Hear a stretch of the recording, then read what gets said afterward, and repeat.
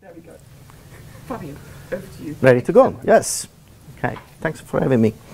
Um, so this is me and uh, my student Sam. He graduated a couple of years ago. He's uh, in uh, Cambridge doing his masters. He also had an offer from Oxford, and uh, this was the first Viva I actually had.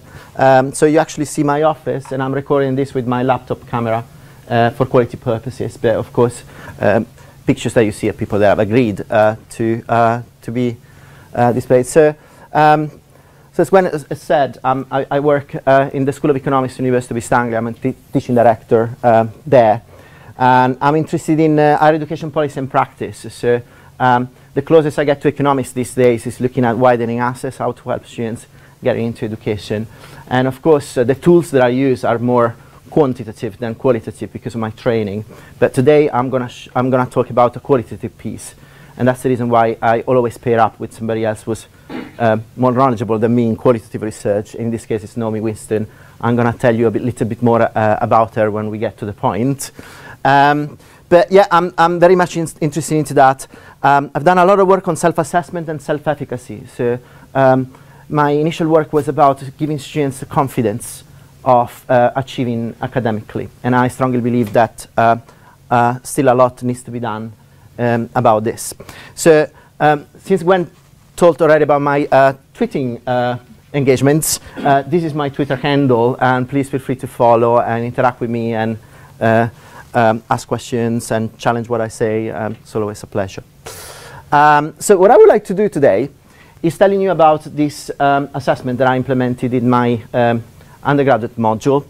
Um, and I will tell you a little bit about how to do it, and, and, and of course, you can ask further questions about what piques your fancy. So um, I might whisk quite quickly through the slides about how to do it because I would rather you guys ask me, ask me questions about what you are interested in. Of course, some of the information is also specific to UEA.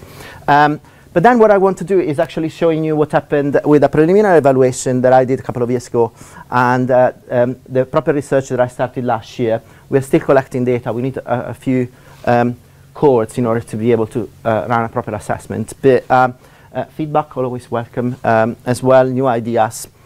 Um, so let me tell you a little bit about um, Viva Voce exams. And the first thing I need to do is positioning myself. I'm Italian, as you uh, can pick from my accent.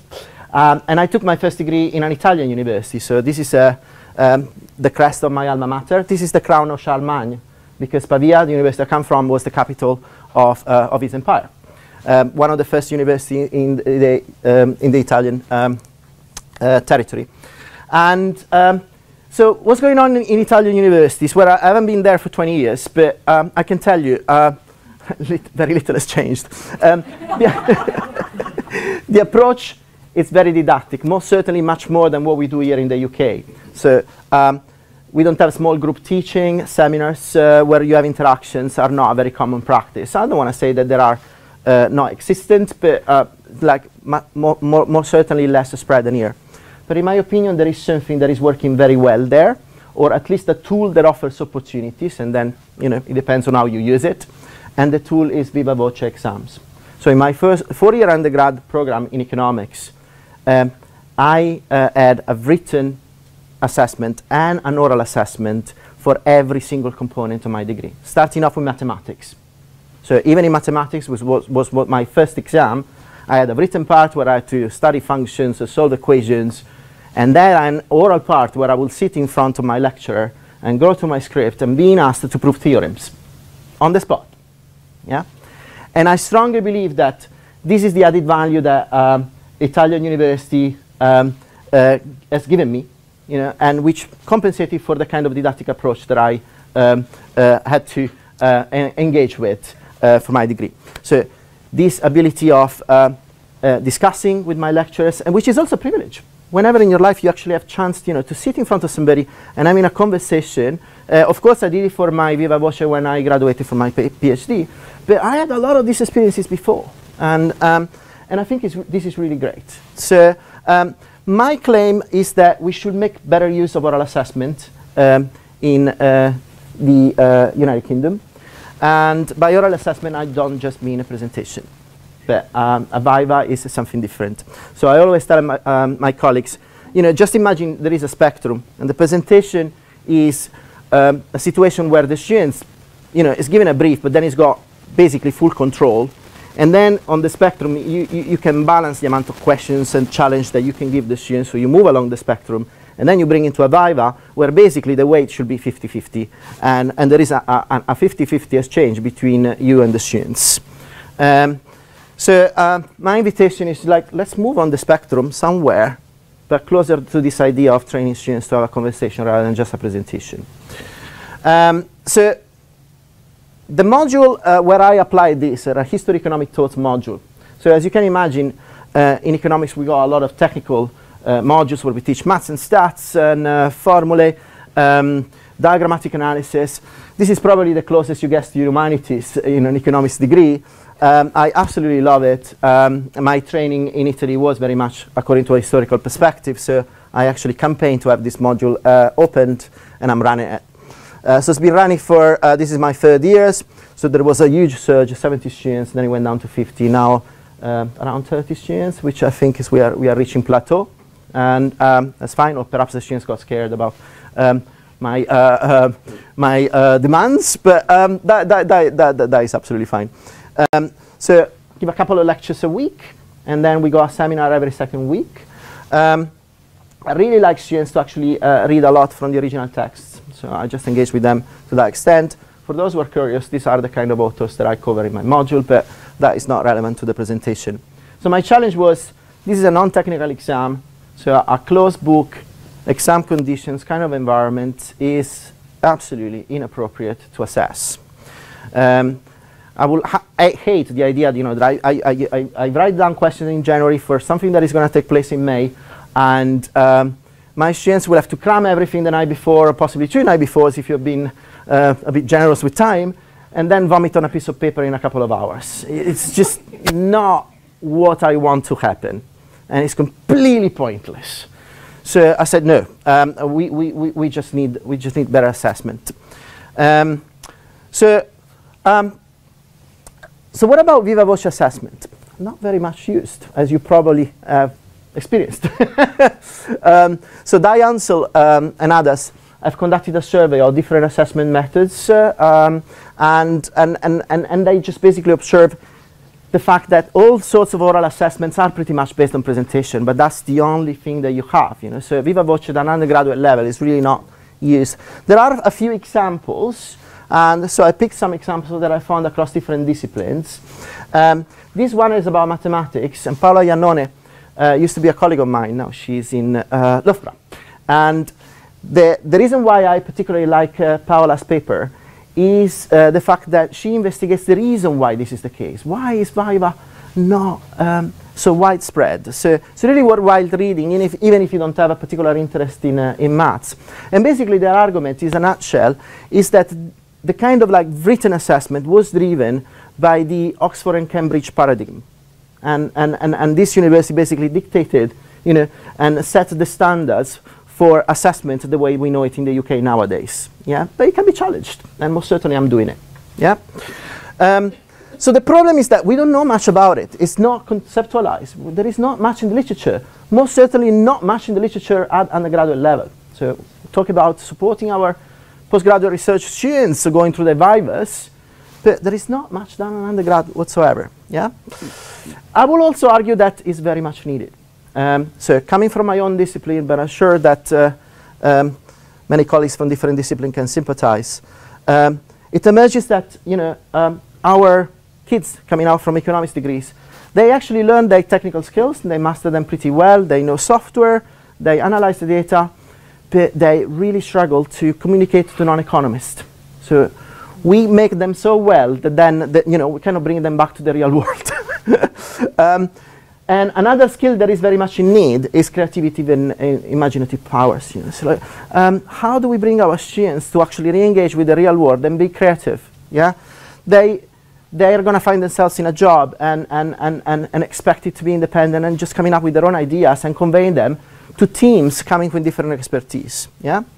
So um, I believe that Viva Voce is actually a solution to this uh, to this problem. Yeah.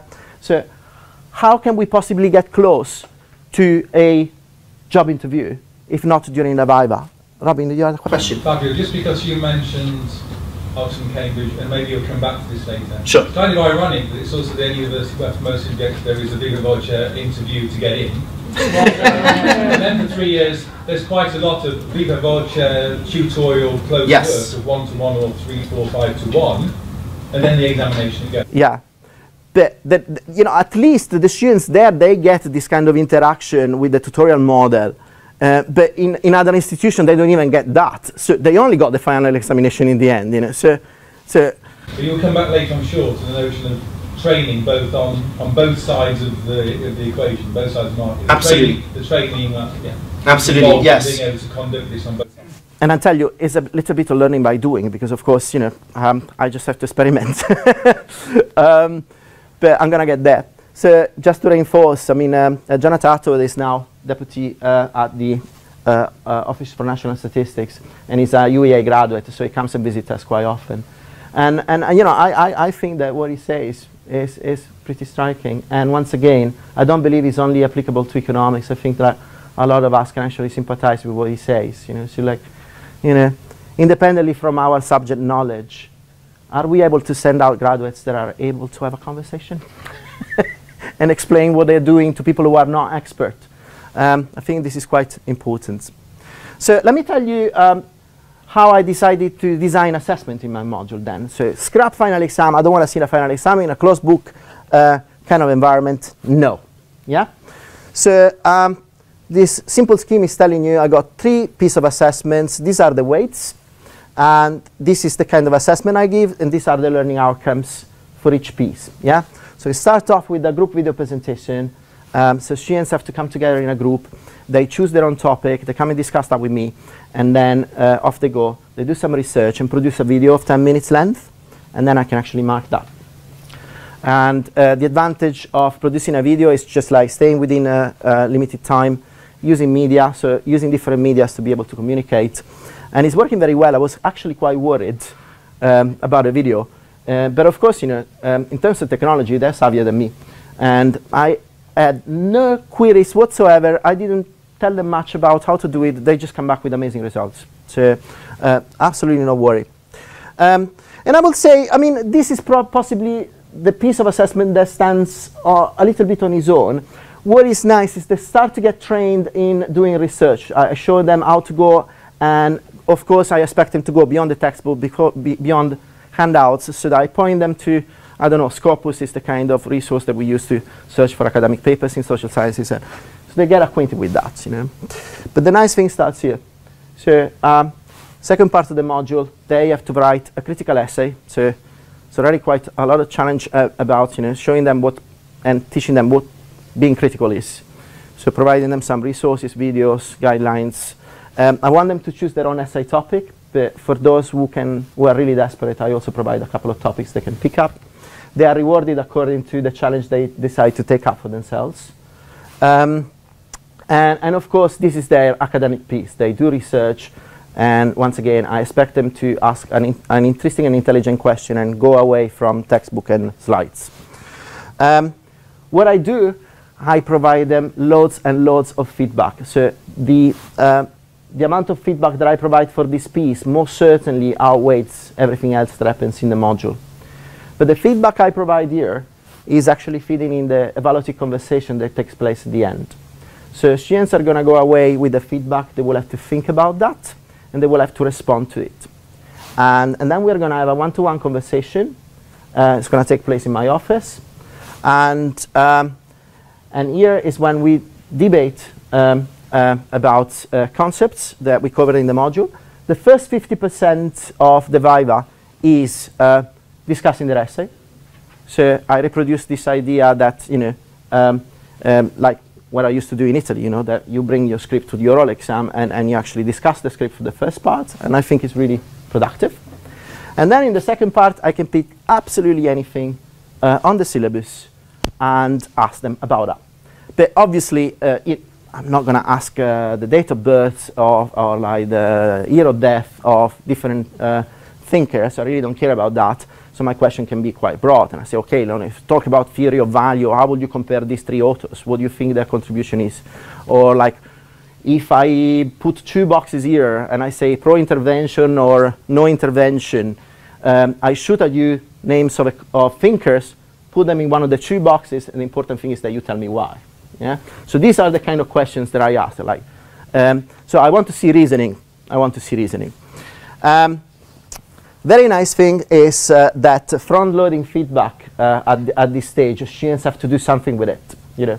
So another thing that I'm trying to um, prevent, and this is where Naomi Winstone comes into the picture, is this idea of you know providing feedback that the students can use for something.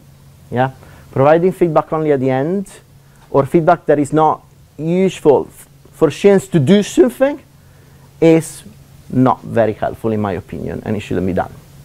So uh, students are going to get some feedback from the Viva, but it's, it's going to be uh, very uh, basic because the feedback is already taking place as we have in a conversation. They perfectly know what's going on, and, and my feedback is coming across verbally, on my facial expressions probably, and, and, and that.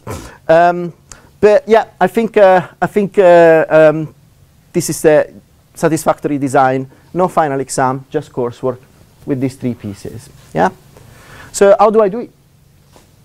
Um, video presentation, I was already mentioning, I allocate students in groups. Uh, they choose their own uh, topic. This is our learning technologies group is uh, supporting um, that. Um, are you using Blackboard, Moodle? Moodle? Moodle, yeah. So, well, Blackboard is our Moodle. Um, um, provide some guidelines, but students pick up their own software. So they don't even care about what I tell them. And, and they just come back with some amazing, I, I had videos where uh, students blended slides with them appearing in different locations on campus and words editing on the, on the blue sky in the background, which was absolutely incredible. I had students who actually can sketch very well, and they went on a vignette kind of.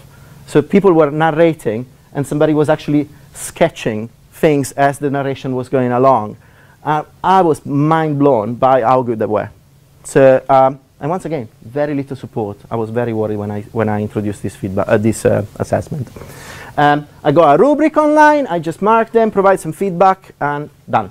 You know? So very, very simple to mark as well. Um, and also I like this idea of you know, making assessment sustainable, um, which is uh, very important uh, indeed. So essay, probably this is the, the piece that takes me the most uh, effort. So students submit their uh, essay online. Um, I prefer um, editing in Word, uh, editing tools. Uh, now, now we are moving to Turnitin is a bit better, but Blackboard uh, marking was a bit of a nightmare. Word, it's easy.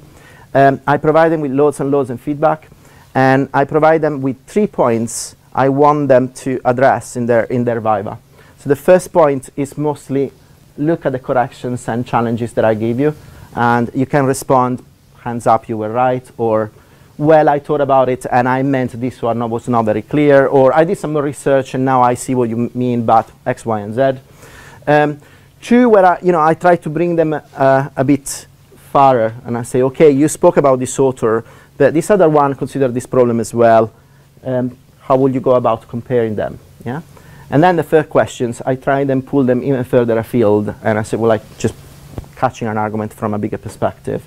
So so there, are, there is a sort of gradient, and little by little I just get away from their essay, and I prepare them from the second part of the Viva where I can go wherever I want. Um, so, um, so students receive their feedback, and they prepare for the conversation. And then, my pride and joy. Um, I, uh, I set out an Excel spreadsheet uh, with uh, my calendar. I block times there are committees and other stuff. Um, when I had 70 students, I had to spread it over two weeks. I can handle maximum 10 vivas a day, and then I head straight to the pub. Uh, um, if you do that, please uh, time yourself to get uh, a lunch break and toilet breaks. Um, because I did very little of it the first time, and uh, it, it, was challenging. It was really challenging. So I booked myself for 30 minutes lots of students after student. And 20 minutes will be the Viva, 15, 20 minutes is the Viva. 10 minutes to type the feedback, and you have to write it on the spot, otherwise you're going to forget. But once again, the feedback is not going to take as much of your time because a lot of the feedback takes place in the conversation itself. So I have a rubric. Um, just gonna fill in my rubric, couple of comments on what went well, couple of comments on what needs improvement, and um, already typed in, so they're ready to be moderated and off to the next. Yeah. Um, Viva take place uh, with the students agreeing to be recorded. If they don't agree to be recorded, they are warned that, that uh, quality assurance might be compromised and is at, at their own risk. Um, their video uh, is just going to feed straight on Blackboard. So at the end of the day, I record all this video. We have eStream, which is basically a private YouTube. Um, and, and so these videos feed in their own um, uh, grading center. So each student can see the, their own videos. They can see the rubric and can, they can see my comments straight away. Well, straight away at the, at the, end, of the, at the end of the assessment. Uh, the moderator, of course, can log in there, look at the videos, look at the rubrics as well. External examiners can do exactly the same. So in terms of quality assurance, there are really no problems. Could be the same as the video presentation. For them, it's exactly the same thing. They look at the video and they look at the feedback I given. So no problem. Yeah. Um, so quite a rigid schedule of this uh, 30 minutes uh, um, uh, along two weeks for 70 students. This year with 30 students, I think in one week I'm going to be more than um, it's going to be more than enough to actually com complete all the vivas. And um, and that's me done basically. So um, what we've done with the students is coming up with a rubric. Every year we review the rubric uh, together. Um, so I asked the students what they think, what they thought when we started this module, what they thought we uh, would uh, need to assess and what they would like to receive feedback upon. And they came up with this criteria. Of course, the first one is the response to feedback because the first part of the Viva is engaging with their feedback. So they get graded according to that. Their ability to link theories, that to me is very important. So just like jumping from one theory to the other and see links, comparing, going across different authors. Um, this one uh, is uh, the one they performed the worst on average, which is of course involving me, um, you know, asking questions all across the spectrum. I absolutely hate this culture of past papers and what I should study and what should I forget. Um, to me, this doesn't exist. And to be honest with you, I apply the same uh, even in my introductory macroeconomics module with 250 students. I'm very, very clear that whatever, you know, they have to prepare on absolute everything. And I'm very rigid on that. So this is the point on which we have more frictions, you know, and some students you still get back to me and say, it's like, oh, but you asked me a lot of things that I didn't know. It's your choice. Um,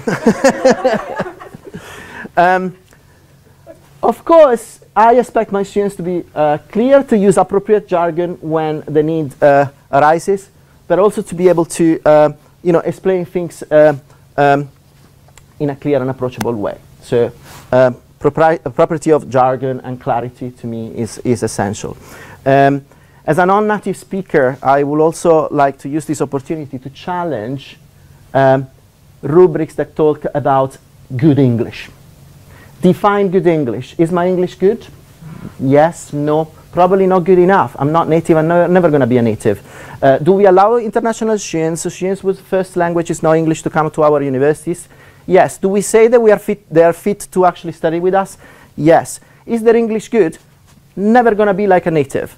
So I rule out any kind of comments related to good English. And mind you, when I moved to the UK, I had a chip on the shoulder, so I was even harsher than a native speaker when I was marking students. You know, it's like, this is not good enough. Um, no, that's not correct. To me, it's all about clarity. If a, if a student is able to use jargon and be clear, explaining themselves, then I can forgive and forget uh, about grammar mistakes as they forgive mine. Um, and I think this is an important principle. Yep. Because what you're talking about is from the markers and uh, penalizing students for for not using their English well enough yeah. uh, in that sense.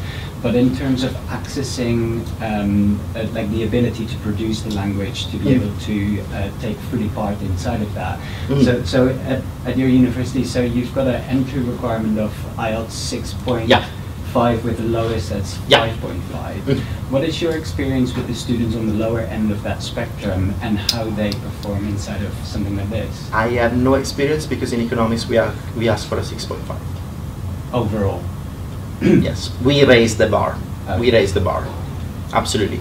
And, And, and, and so would you say that this actually for the lower language, um, so if, if that was lower, so if it was, I believe there is more a problem with the lecturer than with the students. You know, the, the, the, you know, the, the level can be whatever your institution decides decided to be, but then you know you have to be coherent and fair to these people. You know, so what, whatever you set the bar is a matter of you know students being able to engage at that level and, and, and convey a message. If I can understand what you say, even if you say are rather than is or something like that, that's fine by me.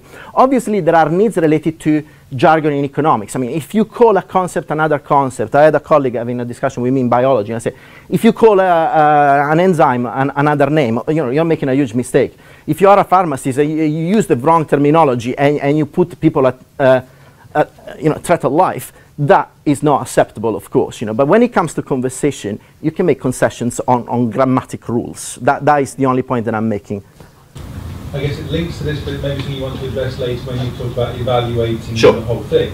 And that is, is there a, are you noticing a systematic difference in performance or even now in the probability of taking this module across different types of Yeah. students in ways which might link with language? ends up when uh, I saw, um, uh, so in economics we have quite a high proportion of Chinese students coming to um, take our degrees. And when I saw that, uh, you know, there was quite a high proportion of Chinese students, and there is every year, so actually I got uh, quite a lot of international overseas students, I was really worried. And I said, perhaps they're making the wrong choice. And I'm ashamed to say that I was completely wrong. Um, because once I actually clarified this point to them, and especially to myself, these students actually performed very well. And the feedback they gave me is it's like, I like history. And I said, well, yeah, why you shouldn't you like history? You know, it's like the stereotype that the Chinese students only like maths. It's not true. Um, uh, they came to me and said, I like history. So why not? Yes, you like history. and, uh, and, uh, and that's absolutely fine. Confidence. Yes. What sure. I find quite striking is you go through the rubrics and the outcomes that your your, your assessment criteria with the students. Absolutely. Yeah. so we- they influence it. yeah, yeah. The students, yeah, yeah, yeah, yeah, yeah. And every year we review that. I think So- I think that that's a So we that's had a- we had big a part where the strength comes from. Absolutely. We had a further criterion that, that we decided to discard, and, and it was about the political and context. And to be honest with you, yeah, it, it can be relevant, but it depends where the Viva goes. And, and also, there is such little time that I'm actually more interested in getting the economic concepts going on. You know, so so we just said, okay, let's let's forget about this. You know, but the, students were cons- consulted on the name of the module. Um, they were consulted on the format of assessment. So I started to talk to the students the year before I actually opened the module. And history economic thought was not my choice, for instance. My choice was uh, uh, um, history and methods of economic thinking. And, but they were scared that methods was going to be a technical module. And I didn't think about that because it was not. In, in my, you know, to me, you know, methods, we're talking about philosophy of science, but it wasn't in their mind. And I said, okay, fine. If you don't like this and you prefer this other name, we'll just do another, this other name. Yes? Uh, 20 minutes, do you find that that's really enough? Because I, I, I don't know how many issues you can really discuss with somebody in 20 minutes. I mean, I, I do a similar with 20 minutes and Yeah. 10, 10 minutes, but I just plucked that out of the air. So it's reassuring to see to see that you've got 20 minutes as well. But my big concern is always 20 minutes isn't really very long, I- you know, to get a decent conversation going. I, I, I started off with 20 minutes, and I have to say, last year I actually went down to 15 because I thought that I could actually cover a lot. Um, and of course, there are reasonable adjustments, um, I take into account and I apply exactly the same rule they apply for um, essay writing or exams. You know, so if you go, I don't know, um, a percentage uh, more time, I apply that to the timing of the viva. Uh, for some of them, if they have severe dyslexia, for instance, I write down the questions and I put the, the paper in front of them so they can actually read them out rather than just listening to me. And, and let's say with, the, with uh, overseas students, um, I just make sure that I slow down when I speak. You know, like, you know, the thing is that you know, my English is quite fluent. I don't know whether it's good, uh, once again, but it's, it's very fast uh, because Italians tend to speak very fast. And so it's like my, my job is always trying to slow down and make sure that I'm very clear when I ask questions. And that's something that I need to work on every time. Confidence. I don't, um, I don't set specific weights on this. And I will never dare to say that I, you know, if you're not confident, I'm going to mark you down. But students, i- i- and, and confidence is something that, I'm, as I told you, you know, I really care about. But it was the students who asked me this. You know, the students asked me to put this, uh, this criterion within their um, evaluation grid. So it's more for them to get feedback than me giving them a mark about it. Um, and and I, I mean, I, I, I, keep quite a fluid approach, you know. Um, uh, uh, so these are the criteria, but they're not weighted. They get the feedback. But when I think about a mark, I think about a mark thinking about the overall experience.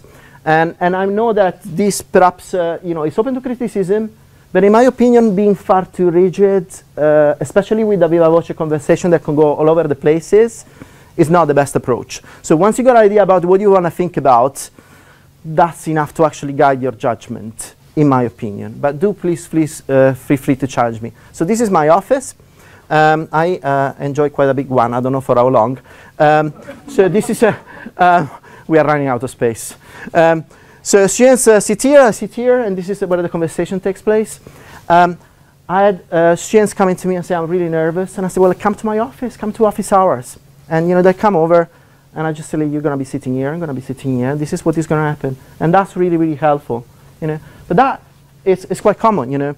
Um, now I'm, uh, I'm quite enjoying talking, as you have noticed, and I'm feeling quite comfortable with that. But when I started to give talks, um, I will make a point of going to the room, you know, just check the equipment, make sure that I own the space and I know where I'm going to stand. And, you know, that, that's, that's very important. You know, so the students are offered precisely that. And I had, Had the Chinese students coming to me and say, well, I'm really nervous because, uh, you know, because English is not my first language. And I was saying, well, English is not my first language. And, and she looked at me and I said, oh, yeah. and she did absolutely amazing. She was great. She was really, really good. Um, so what happened? So I asked the students a lot of questions, gave me feedback.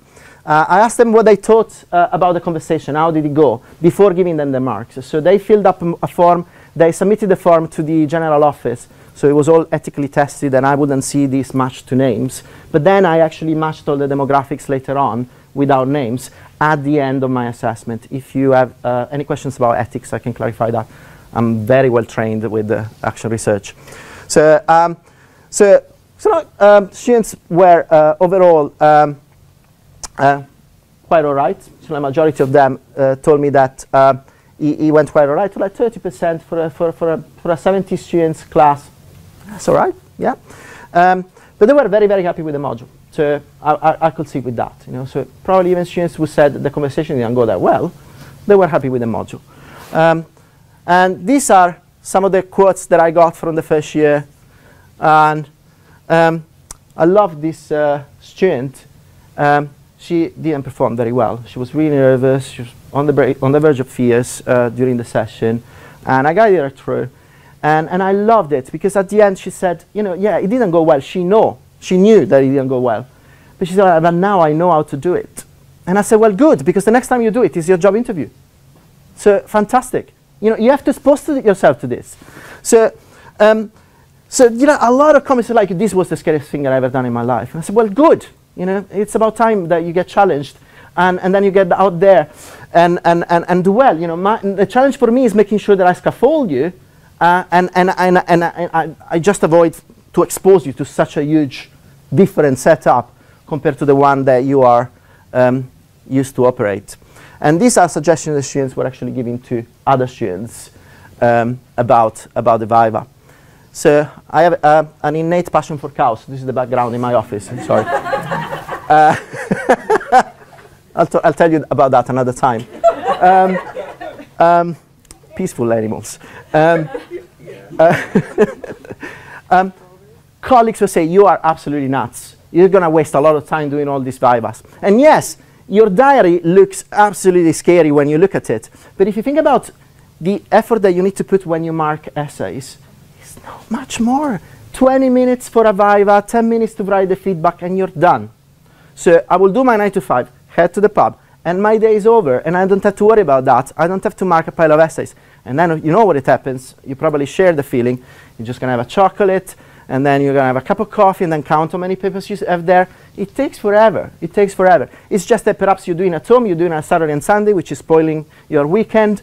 Um, the effective time that you actually invest in doing this kind of assessment is exactly the same, if not less, than marking an essay, if you do it properly. Yeah, I would say marking a 2,000 word, 3,000 word essay shouldn't take you less than 15 minutes or 20 minutes. Yeah, um, and it's really lovely that I could actually interface with my students one to one. you know, and just adapt my questions and adapt the session to them rather than adapt it to me. So, um, so I reiterate, you know, I, I, I believe this, uh, this is really working. And then I partner up uh, with Naomi, who's the queen of feedback. She's fantastic. Um, so, so she's written a lot on these uh, ideas of, you know, making feedback meaningful, making feedback useful for something, making feedback actionable. Um, and she recently published a book on, on these concepts as well, you know, so assessment literacy, feedback literacy, and how to make use of feedback. Um, so she's the perfect person to work um, within this kind of environment. So we mashed uh, a lot of students' evaluations. We run um, um, orientation scales, so we measure our students, what's students' attitude towards feedback, um, and how they're predisposed to uh, take it on board. And we are researching on, you know, how can we help students to uh, make the most out of the evaluative conversation, how to scaffold the process, and whether students are actually um, experiencing difficulty in taking feedback on board and, and what happens in, uh, in, uh, um, in the Viva setup. So what has happened uh, over last year, um, some data still need to be analyzed. Um, so we got demographics we are controlling also for this uh, native, non-native, uh, um, uh, previous British educations versus not, um, self-evaluations as well, and the feedback scale. They are currently um, creating a new scale which is uh, much more closer to this idea of feedback literacy. Yeah, so this is the best tool that we can use at the moment, but uh, David Carless, who's working in partnership with Naomi Winstone, they are actually looking into creating a scale about feedback literacy, and that will be even more appropriate. So this is going to come very soon. Um, so these are some of the demographics out of uh, 50 students managed to get 330 responses, so it's not that I can do fancy statistical modeling here, uh, but at least I got this representation from different groups. I know this is not decent in general, but for economics it's very decent because uh, especially at UEA we have a quite low rate of female to male um, uh, participation, so we have 25-75.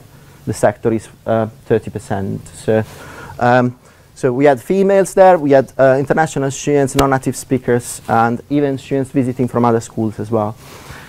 Um, and once again, you know, so in, in terms of assessment last year, 60% of the students told me that they felt the conversation went as expected or better than expected. I'm quite happy with that.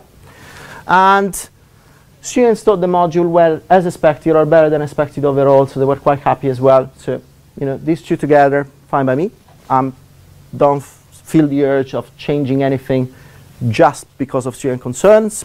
Of course, I just want to improve the way I do things. But even more interesting was uh, to see a, the narrative.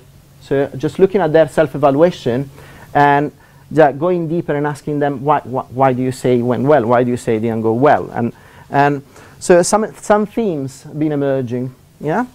And so very important one, they were talking about their anxiety or their confidence during the session. Um, um, they were talking about the preparation, especially those who didn't perform very well or felt that they didn't perform very well. They were talking about the preparation. Um, different items related to the challenge, so the time. Some of them felt it was going too fast and uh, they didn't have chance to think uh, about, uh, about what to say. Uh, they didn't know what was going to happen. Um, but um, this is of course, the, the most reassuring one, a lot of students actually mentioned the support they received. So um, students, uh, they actually have uh, exemplars of essays, exemplars of presentations, and I had some students who actually agreed for their video Vivas to be shared with other students, and that I think is the most important thing. So when I start the module, I actually share all this, all the piece of assessment. They can actually see everything to begin with. They can make their choice because I don't know how it works at Warwick, the, first two years, the students can change optional modules so they can shop around and make a decision. And then second week, the lock comes and you're in, you're in, you're out, you're out. Yeah. So they can make all the choices. Um, and um, if you, uh, as I said, I cannot conduct uh, um, a very sophisticated modeling, but some sort of pattern seems uh, emerging in the data. So, so those who talk about um, confidence so we're talking about confidence and anxiety. so a lot of people that actually did well, they were talking about their, their, their feeling confident about the task. And the one talking about things not going that well, they were more talking about their preparation and the fact that they didn't engage with the material, they didn't, they didn't do the reading and so on and so forth. So this seems like sort of saying, well, if it went well, thanks to you, and if, it did, if I did bad, it's my fault, you know, which is not ideal, but um, um, uh, well done, Fabio. Um, and the nice thing was that those who actually felt it went well, they were actually talking about the support they received. And uh, you'll see in, a quote, in the quotes in a second, um, they were talking about the fact that little things like having a small talk when they come in. Uh, a lot of students actually mentioned that, you know. So we like, I will get students in, just let them see it and say, well, is this your final exam? You, or how much more do you have to do? Um, did you have your breakfast this morning? And, you know, and, and a lot of them really appreciated this very simple thing, you know, uh, which is something you cannot do in, in an exam venue. I, you know, sometimes I actually work in these huge exam venues. I got 250 students in my introductory macroeconomics module. And you can smell the fear, and you can see their eyes. You know, they're just barring at you, like, "What are you doing to us?" And that's why I'm sorry. And, and but you know, it's so lovely that you can actually talk to them, and and just sort of give them a pat on the shoulder without compromising the seriousness of the assessment they're about to undertake. You know, so so that's quite nice, yeah. And and so negative comments, so comments from it's not negative comments, but comments from students who didn't feel they did that well say, well, no, I didn't prepare, or you asked me question outside the feedback you gave me, and I say, yeah, but I told you so. Um, um, but other ones, they actually recognize the value of the Viva, and, and, and I think this is, uh, this is really lovely. Um, so this one, yeah, give meaning, yeah, opposite to dump knowledge. I say, that's brilliant, I love that. But I love that as well, you know, the conversation triggered memories that I didn't think I have. I really, I really uh, recognize myself in that. You know, so many times I went into an oral exam saying, "Oh my God, uh, this is going to be shambles. This is going to be a disaster." And then you know, I will sit there, get comfortable. People ask me questions, and I will nail it. Yeah. And you know, something comes to your mind. You know, the challenge itself is just giving you that adrenaline rush, and you're selling yourself. Yeah. Always perform better oral exams than uh, written exams, personally. Um, so not bad. Not bad at all. Now, uh, this, uh, we're going to end up on a flat note. um, so, orientation to feedback. This is my challenge. So, different colors are different aspects. So, so we got, for those of you who cannot read, we got the utility of feedback, we got accountability, how accountable I am about what I'm doing, um, how people around me are actually helping me make sense of my feedback, including my lecturer, and self-efficacy, so the confidence, yeah? So you got marks, versus the scale, nothing. There is no pattern there whatsoever. Yeah. Um, so uh, so this is my challenge, and I'm starting to reflect on what what can I do to make it better here. So students. In their self-assessment, in their self-evaluation, they, they, they're actually recognizing what is going on. But when it comes to the, you know, taking an objective measure of their literacy and you know, what's their attitude towards feedback, um, the pattern is pretty much random, you know. So, um, uh, well, this is not great, uh, but I'm not ashamed to uh, showing you because I, I still need to make sense of it. My rough guess is that um, you cannot build assessment literacy or feedback literacy with just one module. And there should be like an holistic uh, way of addressing this. What, what's your hypothesis here? Why Sorry? did you choose those two against each other? I mean, it's data that you have. What would it have told you? And well, you know, I would have wanted to see that uh, their mark, and especially, so I had two dimensions here. I have the mark they get in the conversation, Yeah. and then I have the specific item in the rubric about response to feedback, how well they address the comments I gave them. So, you know, um, you know, this is my assessment of how, how they worked. So you just want to see a correlation between their performance and their attitude towards feedback. So students who actually have a better attitude towards feedback, they should score higher. Whereas this cloud is telling you that even those who score high, you know, some of them, they don't have that awareness or that, that they're feeling about feedback. You don't take into account their starting point. So Yeah. uh, you, if you were to, to, I don't know how you do that, but you, Yeah. if you were to control for, Yeah. actually their essay was quite good, Yeah. or their essay was marginal, no, Yeah. we call it average, sorry. Yeah, Or their, their, their essay was rather wanting, yeah. if you were to control for that. Yeah, I mean that. Um, to be honest with you, uh, is something that I did uh, uh, the first year, um, but it was very dangerous because then my evaluation will just be affected by the marks of their essay. So what you want to evaluate here is, despite how good or bad your essay is, what you're gonna do out of the feedback that I'm giving you. You know, so. I, I agree that there is a scale effect, that the starting point might actually have a, an influence, but I don't want to look at it. You see what I'm saying? Yeah, yeah, Yeah. Isn't, isn't what you want to measure the change in the mark from, let's say, the early piece of Yeah. assessment to that final piece of assessment? No, because the assessment is different. You know, in the first assessment, it's it's what they do once I give them feedback on their piece. You know, so their ability to take their feedback on board. So the essay, that second piece, Mm. The, feed, the value of the feedback will, will, will be the ex, and their response to it will be the extent to which they raise their mark from that piece of essay to their conversation. Yes, but I mean the market conversation can go up, can go down. Mm-hmm. To their attitude. That's how you Yeah. control for, yeah. Yeah, yeah. Well, I can I can play a little. With a module, Yeah. a difference in difference. I, yeah I yeah, I, c- I, I, I- obviously, yeah, and yeah, with the observation I have. Um, the other thing I can do, and this is more on Gwen's point, is that I can, um, um, so this measure, I can deploy this measure at the beginning of the module and at the end of the module, and this year I'm doing this. So I'm taking the measure twice through and see whether there is a change within the module. I don't have very high expectations, but I'm going to try. The other things I need to do is just looking at their own self-assessment. So forget about the scale and just look at how they rank. It went better than expected, worse than expected, and just looking at that. Um, and that can give me some sort of indication. But any ideas are more than welcome. I'm actually to answer any sort of questions or suggestions about this. more than happy to take them.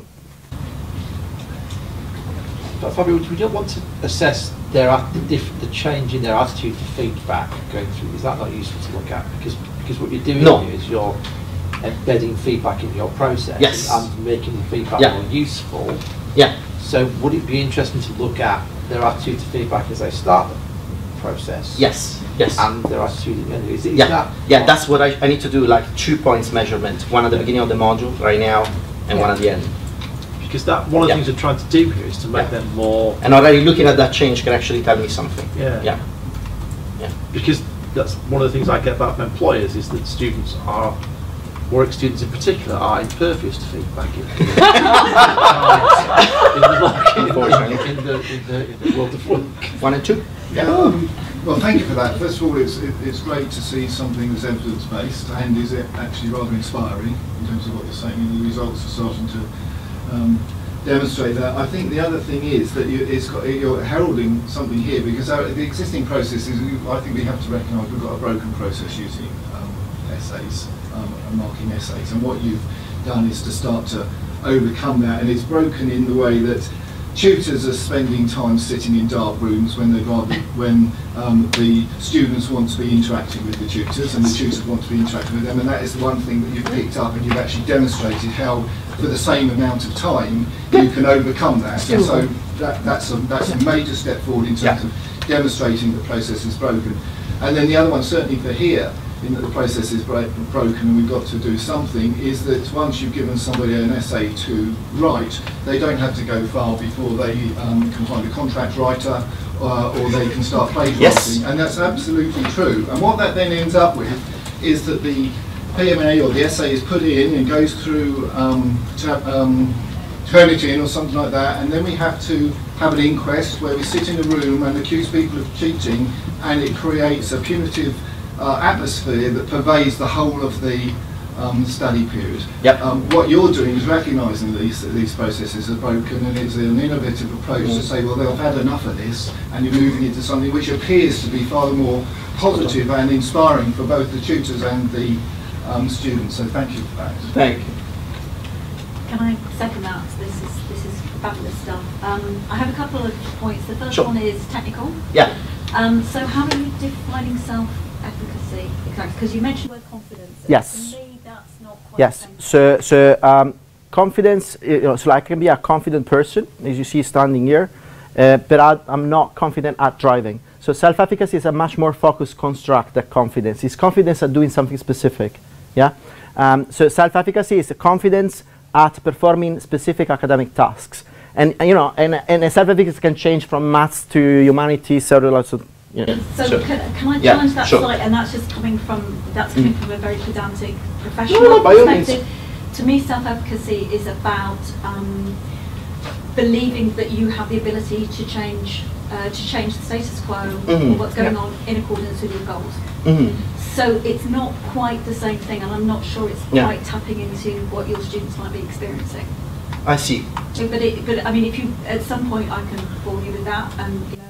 Oh, please, if, and if you got other tools, uh, no, no, that, that, that, that would be great. I mean, uh, the, the, the, the literature on academic self-efficacy is like, is providing a definition in the way I, I, I, I, I, I sold it to you. Uh, but there is a huge debate. Oh, Oh, and I entirely agree. And um, there is a fantastic paper by uh, Pajares, who passed away, but uh, where he actually questions the fact that people have measured all sorts of things, meaning self-efficacy. So, um, and uh, he, he analyzes one by one. So I'm aware, I'm aware of the of the problems. So, so I'm very, very open to different dif- different suggestions. It's Yes. a really worthwhile conversation because what, Yeah. what, what you uh, relate to in terms of self-efficacy in our field is quite often called metacognition, Mm. which again is actually something really different. Which again is, yeah, something really different. Yeah. So there is a of there as, is yeah. a you know you you, Yeah. need, you, you almost need a glossary of in my in my language that means this and in yours. But I I have to say I, I do struggle with that term self-efficacy in that I mean, that wonder if context. you're talking about locus control. So, for instance, in this context, is just the way the scale is built and the way they call it. So, um, you know, it's not Fabio here. You know, but, Okay. um, right. you know, um, Sorry. No, no, no, by all means, you know, no, but, but by all means, you know, um, we, I'm, I'm fully aware that there is a huge debate about that. You know, but at the end of the day, some, you know, you just go for it and test at some point. Is that a, is that a 2010 Lindau? Is that uh, is it Lindau or Lind, uh, uh, Linderbaum? Is that Yeah. a 2010 scale you've used? uh, let me check. We got it here. Uh, yep, Yeah. Yeah. Linderbaum. Yeah. Okay. Yeah. Yeah. So that's the way they label it. One of the one of the dimensions is Yeah. labeled self-efficacy.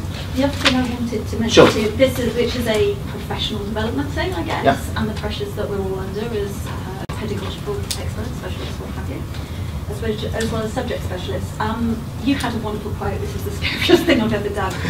Um, when I hear students say something like that, my little eyes light up, Mm. and I have to really quell that because it's like, I, I've, I've really pushed you, I've challenged you, I've Mhm. made you think. I have had criticism thrown at me, you know, that was so hard, Liz, you've made me think. I'm Mhm. like, that's what you're here for. but we also contend with this continual appraisal of Mhm. what we do, and it tends to turn more into a bit of a popularity contest. Easy, high Yeah. marks, makes your module popular. Oh yeah.